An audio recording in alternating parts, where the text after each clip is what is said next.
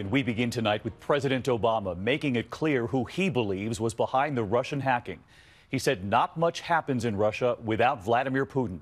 And tonight, ABC News confirming the FBI now agrees with the CIA. Vladimir Putin directed it, and it began with Putin's concern over Hillary Clinton becoming president.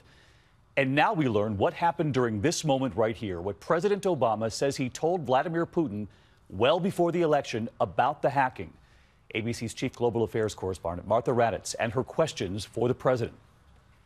Tonight, President Obama revealing he confronted Vladimir Putin about the Russian hacking face to face in September, warning him not to tamper with the vote on election day. I felt that the most effective way to ensure that that didn't happen was to talk to him directly and tell him to cut it out. And there were going to be some serious consequences if he didn't.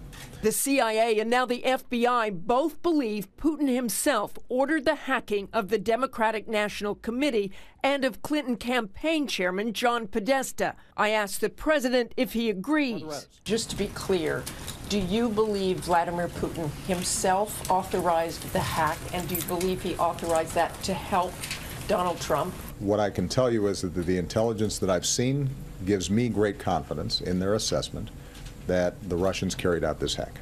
Putin specifically? Can you not say that? Well, Martha, I think what I want to make sure of is that um, uh, I give the intelligence community the chance to gather all the information, but I'd, I'd make a larger point, which is not much happens in Russia without Vladimir Putin.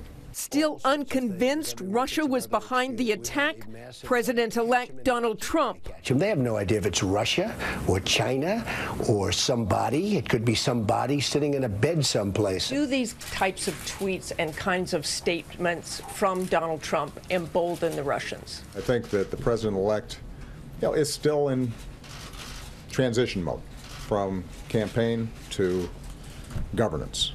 Uh, he still has campaign spokespersons sort of filling in and appearing on cable shows and the president today bristling at republicans for not denouncing russia during the campaign. He says it was clear which candidate russia was trying to hurt. Some folks who had made a career out of being anti-russian. Didn't say anything about it. And then after the election suddenly they're asking well, why didn't you tell us that uh, maybe the Russians were trying to help our candidate? Well, come on. And now Hillary Clinton is speaking out, saying Putin targeted her because, as Secretary of State, she spoke out against corruption in Russia's own elections. Vladimir Putin himself directed the covert cyber attacks against our electoral system, against our democracy, apparently because he has a personal beef against me. Clinton blames her loss on two, quote, unprecedented events the hacking and the announcement by FBI Director James Comey just 11 days before the election that agents were looking over new emails connected to her private server. Swing state voters made their decisions in the final days, breaking against me because of the FBI letter from Director Comey. Today, praise from President Obama. I've said before, I couldn't be prouder of Secretary Clinton, and I don't think she was treated fairly during the election. Uh, I think the coverage of her and the issues uh, was troubling.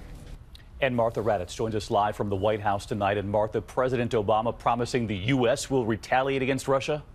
Yes, he did, David. He said it would be a thoughtful and methodical response, some of it public, some not public. He said to send a clear message to Russia or others not to do this to us because we can do stuff to you. David? Martha Raddatz leading us off on a Friday night. Martha, thank you.